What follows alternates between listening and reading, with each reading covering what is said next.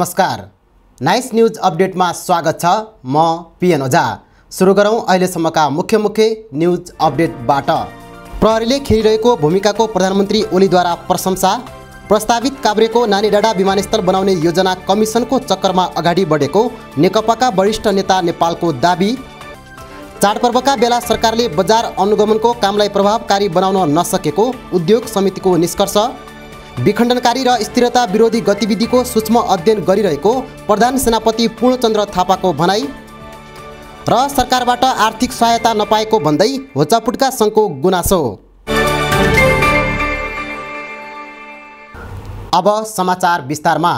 त्रिसठौँ प्रहरी दिवसको अवसरमा प्रधानमन्त्री केपी शर्मा ओलीले शान्ति सुरक्षा स्थापनामा प्रहरीले खेलिरहेको भूमिकाको प्रशंसा गर्नुभएको छ। प्रहरी प्रधान कार्यालय नक्सालमा आयोजित समारोहमा प्रधानमन्त्री केपी शर्मा ओलीले नेपाल प्रहरीले शान्ति सुरक्षा स्थापनामा खेलिरहेको भूमिकाको प्रशंसा गर्नुभएको हो। त्रिसठौँ प्रहरी दिवसको अवसरमा आयोजित विशेष कार्यक्रममा बोल्दै प्रधानमन्त्री ओलीले दुई हजार बाह्र सालमा मुक्ति सेनाबाट नेपाल प्रहरी जन्मिएको भन्दै नागरिकसँग प्रहरीको सम्बन्ध राम्रो हुनुपर्ने बताउनुभयो। कार्यक्रममा बोल्दै उहाँले नेपाल प्रहरीले अपराध अनुसन्धानमा नब्बे प्रतिशत सफलता पाएको भए तापनि कुनै एउटा विषयमा अपराध अनुसन्धान राम्रो गर्न नसक्दा नकारात्मक असर पर्न जाने भन्दै सबै घटनाको अनुसन्धान गरी दोषीलाई कारवाही गर्नुपर्ने बताउनुभयो। विभिन्न समयमा विभिन्न मोर्चाहरूमा आफ्नो प्राण आहुति गरे। म सम्मानका साथ उहाँहरूलाई स्मरण गर्न चाहन्छु। त्यो होसपूर्ण मृत्युवरण गर्ने सबै प्रहरी कर्मचारीहरूप्रति हार्दिक श्रद्धासुमन अर्पण गर्न चाहन्छु। तत्कालीन जनमुक्ति सेनालाई व्यवस्थित गरेर विक्रम सम्मत दुई हजार बाह्र सालमा विधिवत गठन भएको प्रहरी सङ्गठनको उद्गम नेपाली नागरिक भएको पृष्ठभूमिमा नेपाल प्रहरी सदैव जनताको नजिक रहेर जनताको सुरक्षाको पहरेदारको रूपमा र सेवकको रूपमा स्थापित भएको छ। तर एउटा यो सफलता देखिए पनि एउटा संवेदनशील मुद्दामा तपाईँहरू यदि असफल हुनुभयो भने त्यसले पुर्याउने क्षतिलाई सजिलै भरपुर गर्न सकेको रहेन। सजिलो हुँदो रहेनछ त्यो दृष्टान्त हामीसँग छ। हामीले देखेका छौँ। त्यसलाई मनन गर्न आवश्यक छ। नेपाल प्रहरीलाई समय सापेक्ष साधन स्रोत र प्रविधिले सुरक्षित गर्दै सुसज्जित गर्दै एक व्यावसायिक र सुदृढ सङ्गठनको रूपमा विकास गर्न नेपाल सरकारको ध्यान गएको छ। आफ्नो कर्तव्यको पालना गर्ने सिलसिलामा ज्यान गुमाउने प्रहरीहरूमाथि प्रधानमन्त्रीले गहिरो श्रद्धासुमन अर्पण समेत गर्नुभयो। अमर प्रहरीको स्तम्भमा पुष्पगुच्छ चढाई उहाँले श्रद्धाञ्जली समेत दिनुभयो। त्यसै गरी कार्यक्रममा बोल्दै प्रहरी महानिरीक्षक सर्वेन्द्र खनालले सङ्गठनमा वर्दी लगाएका प्रहरी अधिकृत नै अनुसन्धानका विज्ञ रहेको बताउँदै उहाँले दुई चारजना प्रहरीको असफलतालाई सिङ्गो सङ्गठनको असफलता भन्न नमिल्ने उहाँको भनाइ छ। आइजिपी खनालले कुनै पनि घटनाको अनुसन्धानको समय सीमा तोक्न नसकिने भन्दै घटनाको अनुसन्धानको लागि सबैले धैर्यता प्रदर्शन गर्नुपर्ने बताउनुभयो। उहाँले सरकारले दिएको निर्देशन पालना गर्दै जनतासँग मिलेर शान्ति सुरक्षा चुस्त दुरुस्त राख्न अहोरात्र खटिने बताउनुभयो। नेपाल प्रहरीले आफ्ना साङ्गठनिक प्राथमिकताहरू निर्धारण गरेको छ। ती प्राथमिकताहरूमा सङ्गठित अपराध जघन्य अपराध र महिला तथा बालबालिका विरुद्धका अपराधिक घटनाप्रतिको कानुनी कठोरता प्रमुख छन्। यसको अक्षरश पालनाले आगामी दिनमा यस्ता अपराध न्यूनीकरण हुने विश्वास दिलाउन चाहन्छु। अब अनुसन्धान जनधारणा भन्दा सबुत र विज्ञको रायमा भर परेको हुन्छ। अनुसन्धानमा न त कुनै समय सीमा नै तोक्न सकिन्छ। राज्यले जिम्मेवारी तोकेको नेपाल प्रहरी नै अनुसन्धानका दृष्टिले विज्ञहरूको सङ्गठन हो। त्रिसठौँ प्रहरी दिवसको अवसरमा कर्तव्य पालनाको सिलसिलामा ज्यान गुमाउने अमर प्रहरीका परिवारलाई सम्मान तथा राहत वितरण गरिएको थियो। त्यसै गरी यस वर्षको प्रहरी लाइफ टाइम अचिभमेन्ट अवार्डद्वारा पूर्व प्रहरी अतिरिक्त महानिरीक्षक अमर सिंह शाहलाई प्रदान गरिएको छ। उहाँले सेवामा रहँदा र सेवानिवृत्त भएपछि पनि प्रहरी सङ्गठनको व्यावसायिकता वृद्धिका लागि महत्त्वपूर्ण भूमिका खेलेकोमा शाहको उच्च प्रशंसासहित सम्मान प्रदान गरिएको हो। प्रधानमन्त्री केपी शर्मा ओलीले शाहलाई सम्मान पत्र हस्तान्तरण गर्नुभएको थियो। अवार्ड ग्रहण गर्दै पूर्व प्रहरी अतिरिक्त महानिरीक्षक अमर सिंह शाहले आफूलाई यस सम्मानले थप हौसला मिलेको बताउनुभयो। त्रिसठौँ प्रहरी दिवसको अवसरमा यस्तो महत्त्वपूर्ण तथा विशेष कार्यक्रममा प्रहरी सङ्गठनबाट सम्मानित हुन पाउँदा गौरवान्वित महसुस भएको छ। आफ्नो तिस वर्षीय सक्रिय प्रहरी जीवनमा नेपाल प्रहरीको मूल मन्त्र सत्य सेवा सुरक्षालाई मनमा राखेर गरेको कार्यको उच्च मूल्याङ्कनको रूपमा मैले यो सम्मान लिएको छु। कार्यक्रममा गृहमन्त्री रामबहादुर थापा बादल महान्यायाधिवक्ता अग्नि खरेल गृह सचिव प्रेम कुमार राई प्रधान सेनापति पूर्णचन्द्र थापा लगायत सरकारका उच्च पदस्थ कर्मचारीहरूको बाक्लो उपस्थिति रहेको थियो।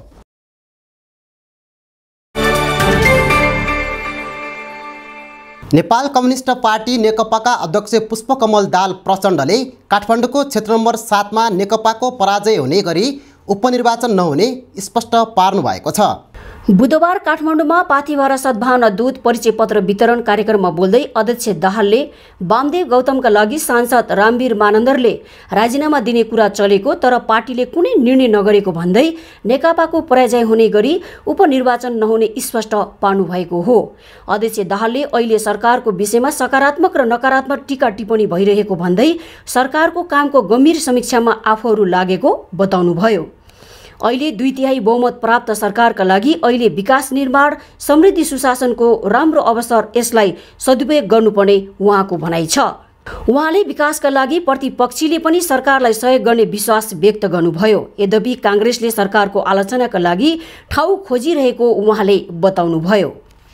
संविधान र निर्वाचन दलहरू बीचको समझदारी र एकताबाटै सम्पन्न भएको भन्दै अध्यक्ष दाहालले संविधानको कार्यान्वयन र मुलुकको विकासका लागि पनि हातेमालो गर्दै अघि बढ्नुपर्ने जिकिर गर्नुभयो। अहिले भर्खरै मिडियामा निकै धेरै चाहिँ यो काठमाडौँको सात नम्बर क्षेत्रमा राजीनामा वामदेवजी उठ्ने चुनाव जित्ने हार्ने निकै चर्चा चर्चा अस्तिको दिनदेखि भएको छ। आज बिहान पनि प्रधानमन्त्री र म यही विषयमा कुराकानी गर्दै थियौँ। म चाहिँ के मात्रै भन्न सक्छु पार्टीले निर्णय गर्न त बाँकी छ तर हाम्रो सिट गुम्ने गरी चुनाव हुँदैन। यति कुरा चाहिँ ठक्क हुनु होला। कार्यक्रममा अध्यक्ष दाल लगायत अन्य व्यक्तित्वहरूलाई पाथिभरा सद्भावना दूत परिचय पत्र वितरण गरिएको थियो। नेकपाका वरिष्ठ नेता माधव कुमार नेपालले प्रस्तावित काभ्रेको नानीडाँडा विमानस्थल बनाउने योजना कमिसनको चक्करमा अगाडि बढेको दावी गर्नुभएको छ।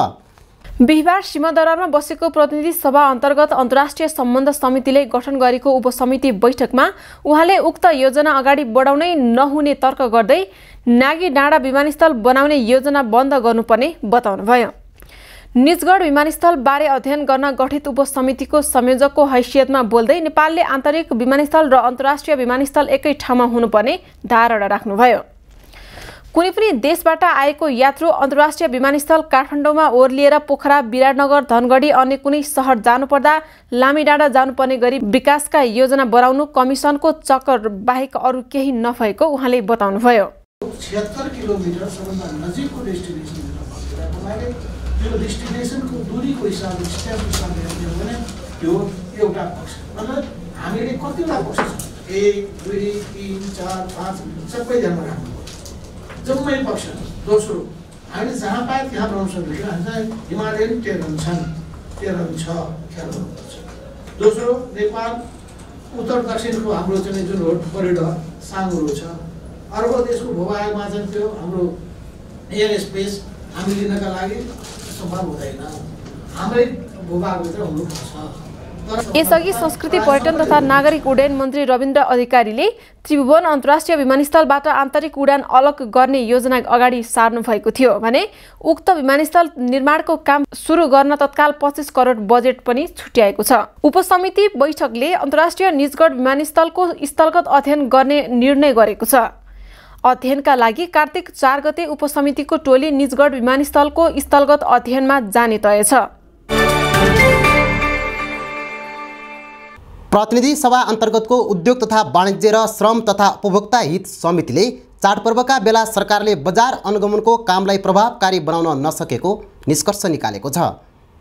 सिंहदरबारमा बसेको समिति बैठकले दसैँ तिहार छठ पर्वका बेला चिनी लगायतका दैनिक उपभोग्य वस्तुको बिक्री वितरणमा कालाबजारी भइरहेको भन्दै सरकारले अनुगमनलाई प्रभावकारी बनाउन नसकेको निष्कर्ष निकालेको हो। बैठकले दैनिक उपभोग्य वस्तु सहज रूपमा उपलब्ध गराउन सरकारलाई पुनः निर्देशन समेत दिएको छ। त्यस्तै बैठकले उखु किसानको बक्यौता रकम चिनी मिलबाट उपलब्ध गराउने गरी व्यवस्था मिलाउन पनि सरकारले निर्देशन दिएको छ भने यसअघिको चिनी आपूर्तिको अवस्था र चिनी उद्योगको उत्पादन क्षमता लगायतका विषयमा सम्पूर्ण जानकारी उपलब्ध गराउन पनि बैठकले उद्योग वाणिज्य तथा आपूर्ति मन्त्रालयलाई निर्देशन दिएको छ। बैठकमा समिति सदस्यहरूले सामान्य अवस्थामा पनि सरकारले निरन्तर अनुगमन गर्न नसक्दा चाडपर्वका बेला अनुगमन दबाव पर्ने गरेको बताएका थिए।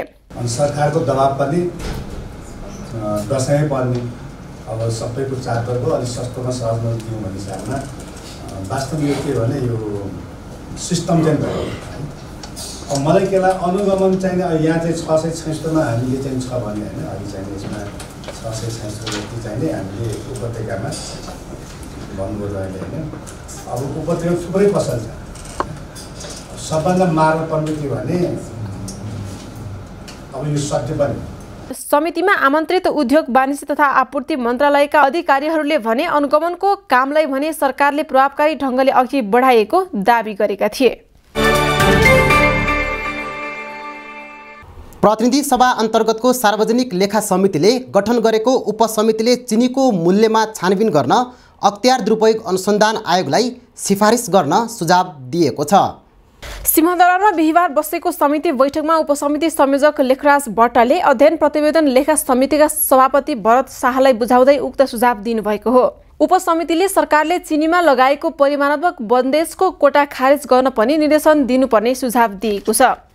उपसमिति संयोजक भट्टले अर्थ मन्त्रालय मार्फत सरकारलाई वार्षिक एक लाख मेट्रिक टन मात्रै चिनी आयात गर्न पाउने व्यवस्था खारेज गर्नुपर्ने सुझाव दिएको जानकारी दिनुभयो। समयमा नै उखु किसानको भुक्तानी नगर्ने उद्योगीलाई जरिवाना सहित गर्नुपर्ने सुझाव पनि उपसमितिले दिएको छ।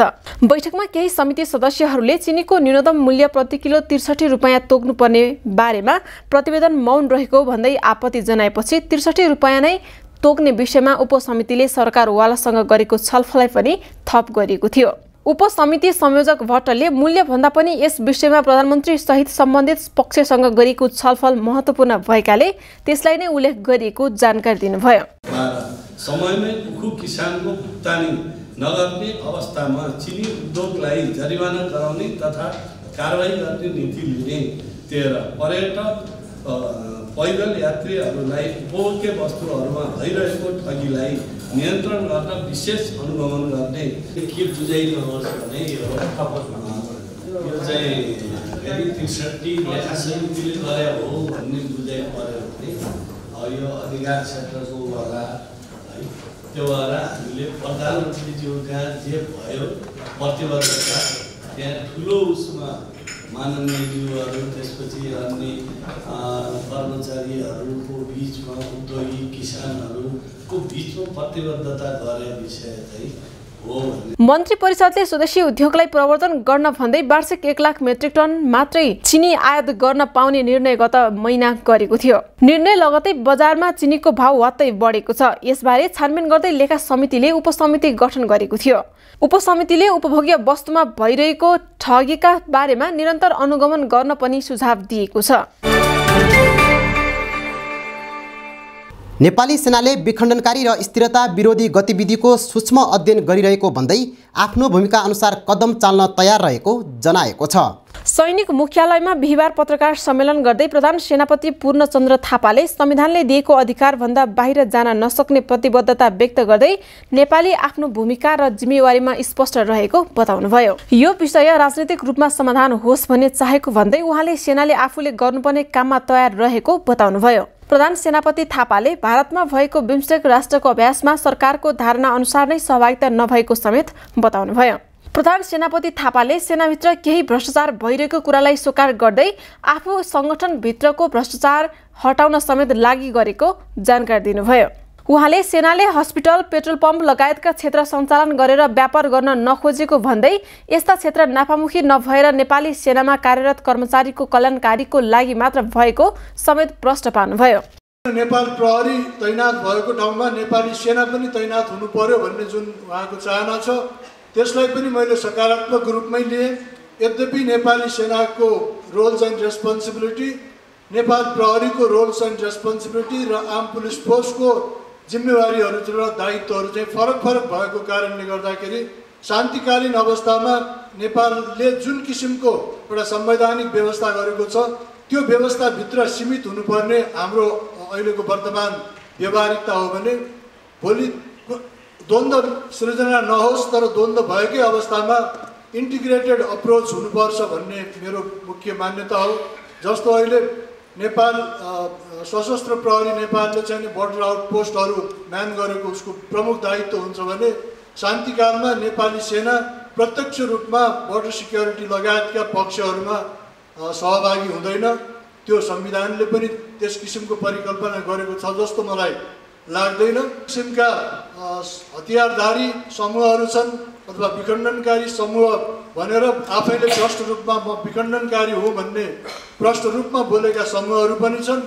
त्यसलाई अहिले राज्यले मलाई लाग्छ दैनिक ल इन्फोर्समेन्ट एजेन्सीहरूको अथवा चाहिँ दैनिक प्रहरी प्रशासनको क्षमताभित्रको विषय ठानेरै होला। अहिले चाहिँ त्यो विषय नेपाली सेनाको डोमेनमा पर्दैन।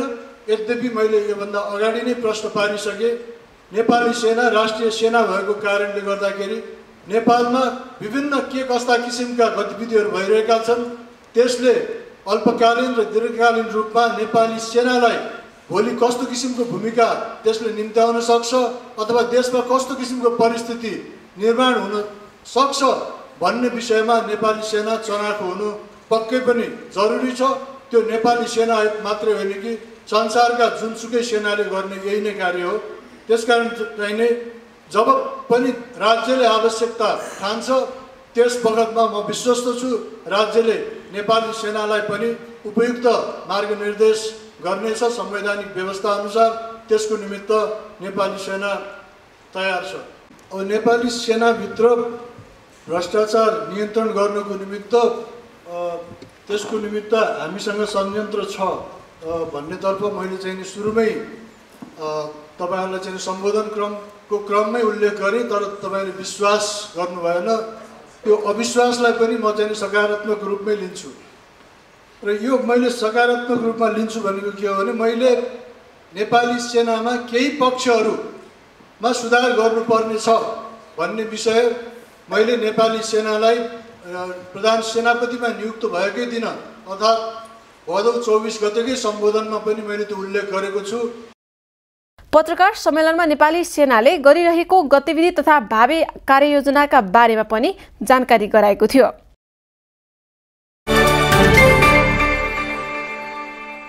गैरावासी नेपाली सङ्घको आर्थिक सहयोग तथा नेपाल लाइब्रेरी फाउन्डेसनको प्राविधिक सहयोगमा नेपाल पत्रकार महासङ्घमा पत्रकार पुस्तकालय तथा स्रोत केन्द्र स्थापना हुने भएको छ। महासङ्घमा बिहिबार आयोजित एक कार्यक्रमका बीच पत्रकार पुस्तकालय तथा स्रोत केन्द्र स्थापना सम्बन्धी सहमति पत्रमा हस्ताक्षर भएको हो। तिस लाख लागतमा बन्ने उक्त केन्द्रको पहिलो चरणमा पन्ध्र लाख लागतको नब्बे हप्ता काम हुनेछ। विश्वको पत्रकारिताको ज्ञान हासिल गर्नका लागि विद्युतीय पुस्तकालय महत्त्वपूर्ण रहेको महासङ्घले जनाएको छ।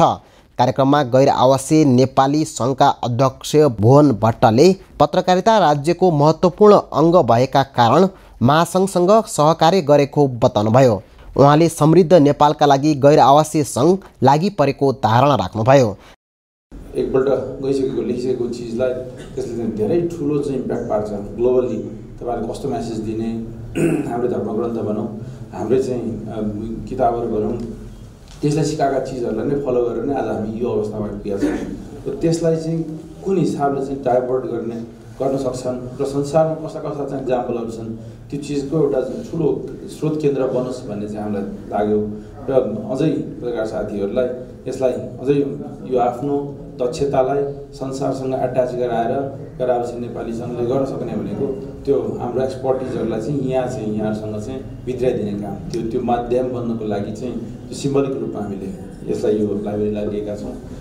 त्यस्तै महासङ्घका अध्यक्ष गोविन्द आचार्यले महासङ्घमा बन्ने पत्रकार पुस्तकालय तथा स्रोत केन्द्रले पत्रकारको क्षमता अभिवृद्धिमा महत्त्वपूर्ण भूमिका खेल्ने धारणा राख्दै सहयोगका लागि गैर आवासीय नेपाली सङ्घप्रति धन्यवाद व्यक्त गर्नुभयो।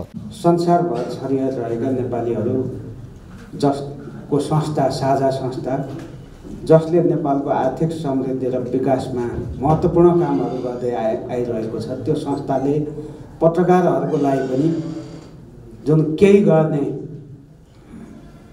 इच्छा जाहेर गर्यो हामी लाइब्रेरी बनिदिन्छौँ यहाँ भनेर अध्यक्षज्यू निर्वाचित हुनासाथ उहाँले चाहिँ यही पत्रकार महासङ्घको भवनमा आएर भन्नुभयो वास्तवमा अब हामी साँच्चै लाइब्रेरी निर्माणतिर जाँदैछौँ। नेपाल लाइब्रेरी फाउन्डेसनका अध्यक्ष कपिलदेव थापाले आफूहरूले क्यानाडामा सिकेको आधुनिक पुस्तकालय सम्बन्धी सिपलाई नेपालका विभिन्न सामुदायिक सङ्घ संस्थामा सहयोग गरिरहेको बताउनुभयो। पुस्तकालय क्षेत्रमा क्रियाशील इन्जिनियर रमेश मैनालीले महासङ्घमा स्थापना हुने पुस्तकालय विगतका भन्दा आधुनिक हुने बताउनुभयो। हिन्दूहरूको महान चाड बडा दसैँको आज दोस्रो दिन दुर्गा भगवतीको पूजा अर्चना गरी मनाइएको छ। अश्विन शुक्ल प्रतिपदादेखि कोजाग्रत पूर्णिमासम्म दुर्गा भवानीको पूजा आराधना गरी दसैँ मनाइन्छ। असत्यमाथि सत्य र आसुरी शक्तिमाथि दैवी शक्तिको विजयका रूपमा मनाइने दसैँ पर्वमा नौ दिनसम्म विभिन्न शक्तिपीठ तथा दसैँ घरमा पूजा अर्चना सहित दुर्गा भगवतीको स्तोत्र पाठ गरिन्छ। शक्तिपीठहरूमा बिहानैदेखि भक्तजनहरूको घुइँचो लागेको छ। उपत्यकाका तलेजु भवानी गुहेश्वरी दक्षिणकाली कालिका स्थान मैती देवी इन्द्रायणी विजयश्वरी शोभा भगवती नक्साल भगवती र भद्रकालीमा भक्तजनहरूको घुइँचो लागेको छ। उपत्यका बाहिर दाङको अम्बिकेश्वरी सप्तरीको छिन्नमस्ता धरानको दन्तकाली स्याङ्जाको आलमदेवी गढौँ कालिका पोखराको बिन्धवासिनी डोटीको शैलेश्वरी बागलुङको बागलुङ कालिका गोर्खाको गोरखकाली नेपालगञ्जको बागेश्वरी मकवानपुरको चुरियामाई लगायतका मन्दिरमा पनि भक्तजनहरूको घुइँचो लागेको छ।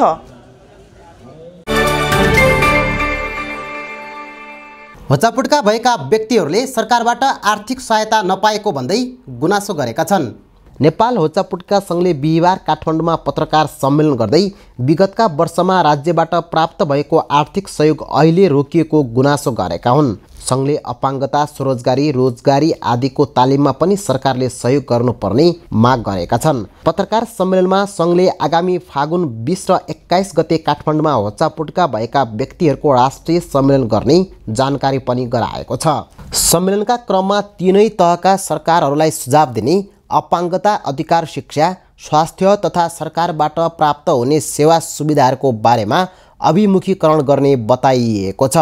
त्यस्तै सम्मेलन मार्फत आन्तरिक तथा बाह्य पर्यटक वृद्धि गरी आर्थिक विकासमा टेवा पुर्याउने होचापुटका भएका व्यक्तिहरूको सवालहरूलाई राष्ट्रिय बहसमा लैजाने लगायतका विषयमा छलफल हुने सङ्घका पूर्व अध्यक्ष विष्णुलाल गुरुङले जानकारी दिनुभयो। पनि यो राष्ट्रको एउटा अभिन्न अङ्ग हो अङ्ग हो यस कारणले गर्दा हामीलाई पनि सरकारले हामीलाई सरकारले हेर्ने जुन दायित्व छ हामीलाई पनि सरकारले हेरोस्।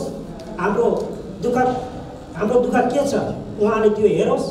अनि हामीलाई जुन सहायता सरकारबाट चाहिएको छ त्यो सरकारले पहल गरोस्। किनकि विगत विगत दिनदेखि हामीलाई सरकारले वार्षिक दुई लाख तिन लाख दिएर दिन दिँदै आइरहेको थियो तर त्यो पनि अलिक कट्टी गरेको छ। सायद हाम्रो यो पावर नपुगेको होला। नेपाल होचापुटका सङ्घले विगत पन्ध्र वर्षदेखि होचापुटका व्यक्तिहरूको हकित र सहज जीवनयापन तथा अधिकारका लागि आवाज उठाउँदै आएको जनाएको छ। महानगरी ट्राफिक प्रहरी महाशाखाले ट्राफिक पुलिस ऱ्यापिड स्क्वाडको सुरुवात गरेको छ। नजिकै गएका चाडपर्वलाई लक्षित गरी ट्राफिक क्षेत्रमा छिटो सेवा प्रदान गर्ने उद्देश्यका साथ ट्राफिक पुलिस ऱ्यापिड स्क्वाडको सुरुवात गरेको महाशाखाले जनाएको छ। उपत्यकाको सवारी आगमनमा सहज बनाउन सडक दुर्घटना न्यूनीकरण साथै शान्ति सुरक्षामा असर पार्ने घटना र क्रियाकलाप नियन्त्रणका लागि यो कार्यक्रम ल्याएको महाशाखाले जानकारी दिएको छ। ट्राफिक पुलिस ऱ्यापिड स्क्वाडको प्रहरी महानिरीक्षक सर्वेन्द्र खनालले उद्घाटन गर्नुभयो। उद्घाटन कार्यक्रममा खनालले काठमाडौँमा प्रहरीबाट धेरै नराम्रा काम भएको भन्दै बदमासी गर्ने प्रहरीलाई सङ्गठनमा कुनै स्थान नभएको बताउनुभयो। खनालले राम्रो गर्दा गर्दै नराम्रो भएमा आफूले सहयोग गर्ने बताउनुभयो। यो कुनै अभियान चलाउनु पर्ने विषय होइन यो साथ बुझ्ने कुरा हो। जसरी स्वयं सिद्ध तत्त्व भन्छ नि त्यो। यसको नोसनै त्यही हो। प्रहरी भएर बदमासी गर्ने चाहिँ पाइन्छ यो स्पष्ट रूपमा यो बुझ्नुहोस्। र सङ्गठनले त्यो सहँदा पनि सहँदैन। टिपेरै फालिदिन्छ मैले भन्ने गरेको छु। सधैँ यो भन्दा पनि केही कता यता कता सुनिन्छ। तर सङ्गठन र सङ्गठनमा त्यो दण्डको पुरस्कारको व्यवस्थाहरू छ। त्यो भन्दैमा प्रहरीले गर्नै नसक्ने अथवा कल्पनै गर्न नसक्ने किसिमको चाहिँ गल्ती नेग्लिजेन्स गर्ने कुराहरू मनोमानी ढङ्गले गर्ने कुराहरू करप्सनमा लाग्ने कुराहरू कुनै हालतमा सही हुँदैन। महाशाखाका अनुसार उपत्यकालाई तीन भागमा विभाजन गरी दसवटा सेक्टरमा पचपन्नवटा मोटरसाइकलमा प्रहरी परिचालन गरिनेछ। काठमाडौँमा छवटा भक्तपुरमा दुईवटा र ललितपुरमा दुईवटा सेक्टर बनाएर प्रत्येक मोटरसाइकलमा एकजना नेपाल प्रहरी र एकजना ट्राफिक प्रहरी परिचालन गरिने महाशाखाको भनाइरहेको छ। शहीद स्मारक ए डिभिजन लिगमा च्यासर र मछिन्द्र क्लबले गोल रहित बराबरी खेल खेलेका छन्। बुधबार सातो बाटो स्थित एन्फा मैदानमा भएको खेलमा दुवै टिमले गोल रहित बराबरी खेलेका हुन्। प्रतिस्पर्धात्मक बनेको खेलको एकतिसौँ मिनटमा च्यासलले गोलको सुन्दर मौका पाए पनि सफल हुन सकेन। राष्ट्रिय टिमका स्ट्राइकर विमल खर्ती मगरलाई अनुबन्ध गरेको च्यासलले पैँतिसौँ मिनटमा अर्को मौका पाएको थियो। तर विश्व अधिकारीले पेनाल्टी एरियाबाट गरेको प्रहार क्रस बारमा लागेर बाहिरियो। चौनौ मिनटमा अमिर श्रेष्ठले गरेको प्रहारलाई पनि गोलकिपरले बचाए। पैँसठीौँ मिनटमा च्यासलले अर्को मौका पाए पनि उसका स्ट्राइकर सफल भएनन्। पचहत्तरौँ मिनटमा च्यासलले पेनाल्टीको अवसर पाएको थियो। पेनाल्टीलाई हेमन्त थापा मगरले प्रहार गरेका थिए। तर उनको प्रहार मछिन्द्रका गोलकिपर दीप कार्कीले बचाए। त्यसपछि दुवै टिमबाट गोल हुन सकेन र अङ्क बाँड्न बाध्य भए। प्रतिस्पर्धामा बिहिबार दुई खेल हुनेछन् जस अनुसार फ्रेन्च क्लब र थ्री स्टार तथा जाउला खेल र नेपाल पुलिस बीच प्रतिस्पर्धा हुनेछ।